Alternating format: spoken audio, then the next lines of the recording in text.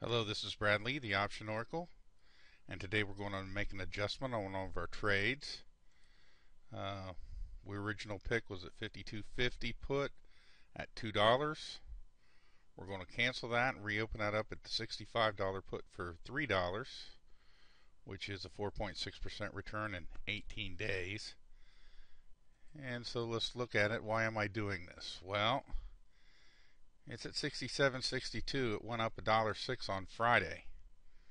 Uh, the after hours guys haven't really messed with it a whole lot.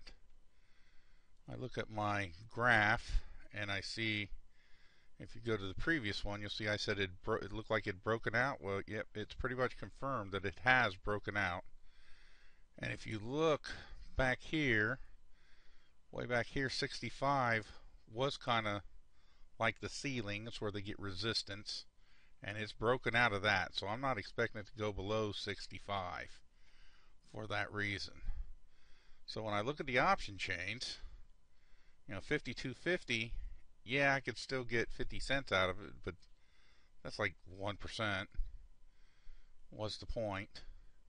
Whereas if I go up to 65, now the time is 333 over on the right. Uh, but this stock is going up fast, and the after hour guys are going to get their hold on it. Uh, so we're going to put in a limit order of three. Now, normally you could modify a stock. You could go here where it says all orders, and you could hit modify. But because I'm changing the nature of the put, they consider it a whole new order. So I need to cancel this trade out. And I'm going to cancel the order and check order status and then I'm going to go to overview. To get back to my option chains I just hit any chain here. AGNC gets a lot of work because it's the first one alphabetically. And so I type in IOC and it's near the money. Let's say more just so we can see see a little bit further.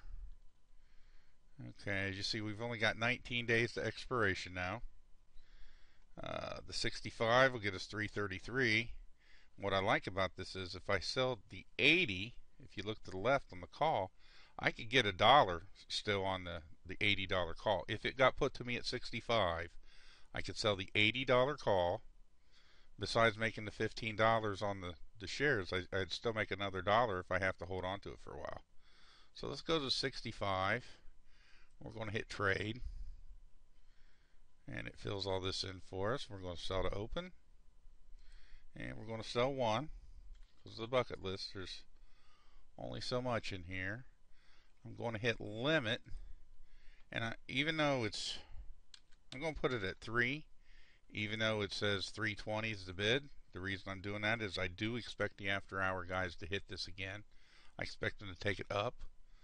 Uh, even if they don't if if this if the bid's at 320, even though I got a limit of three, they'll still let me have it at, at 320. So don't worry about that. And so we preview our order, we look at the order, we place the order, we check the order status, and there she is. And I always like to check out the overview, and we see it's down here. And that's all there is to it. This is Brad Lee, the Option Oracle, signing out.